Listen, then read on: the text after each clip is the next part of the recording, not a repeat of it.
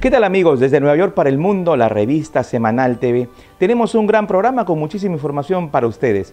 En el segmento de salud, la doctora Mariana García nos estará hablando sobre las alergias estacionales y cómo prevenirlas.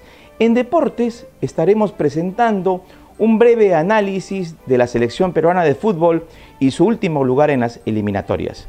También Perú to the World presentó el evento Única, que es una feria de turismo gastronómico dedicado a todas las regiones del Perú, realizado en la ciudad de Newark, en New Jersey.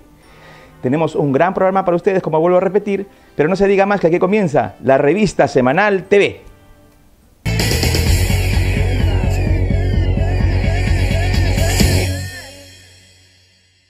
Con el cambio de clima todos sufrimos de estornudos, picazones y todo tipo de reacciones. Es por eso que la doctora Mariana García nos hablará acerca de las alergias estacionales y cómo prevenirlas. Adelante, Mariana.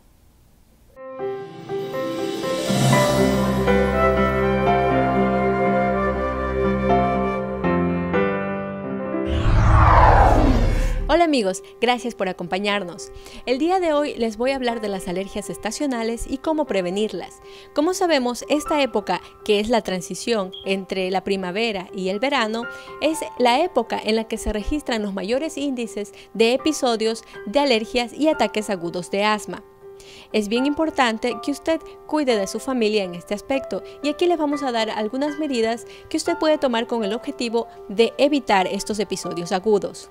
En primer lugar, aunque usted esté ansioso por abrir todas las ventanas y las puertas de su casa debido a que el cambio de clima está un poco más caliente, trate de no hacerlo, especialmente si escucha en las noticias eh, del tiempo que hay unas altas concentraciones de polen ambiental, ya que la mayoría de veces las alergias son exacerbadas por eh, los altos contenidos de estas sustancias y otras además como los ácaros del polvo. Trate de mantener sus ventanas y sus puertas cerradas.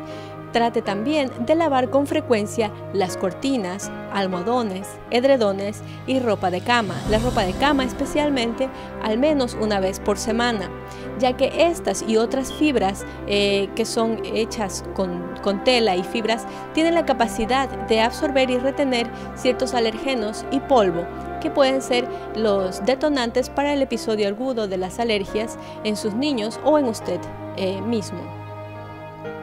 Otro de los eh, juguetes que los niños comúnmente poseen y que son altamente alergénicos son los peluches o muñecos eh, también fabricados con ciertas fibras con capacidad de retener suciedad y polvo. Las almohadas también y los colchones deben tener especial eh, trato con el objetivo de evitar estos episodios. Trate de forrarlos con plástico de una o dos láminas tanto los colchones como las almohadas, y trate además de utilizar una o dos eh, láminas de la ropa de cama, es decir, dos almohadones, varias sábanas. Esto ayudará a, evitar que estas sustancias se acumulen, especialmente en las personas que son altamente alérgicas. Otro de los detonantes para las crisis agudas de asma, rinorrea o abundante secreción nasal y conjuntivitis alérgica con picazón de los ojos y lagrimeo son la exposición a ciertos componentes que se encuentran en la materia orgánica. Por ejemplo, las hojas secas, la grama verde o la grama seca también. Por eso si usted va a cortar su césped o va a limpiar las hojas o su patio o si realiza otras actividades fuera eh, de casa, trate de utilizar máscaras y filtros o gafas adecuadas que le ayuden a disminuir la exposición a estos componentes. Utilice dehumidificadores, acondicionadores o purificadores de aire en su casa. Estos ayudan a disminuir la concentración de los hongos, ácaros, del polvo, polen y otras sustancias que constituyen alergenos.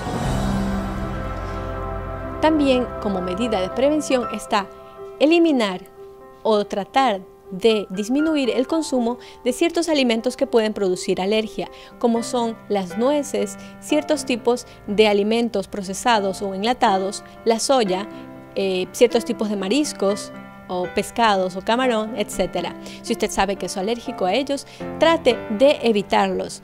es por eso es importante que usted se fije en los componentes de los alimentos que consume. Recuerde, conocimiento y salud es vida. Soy la doctora Mariana.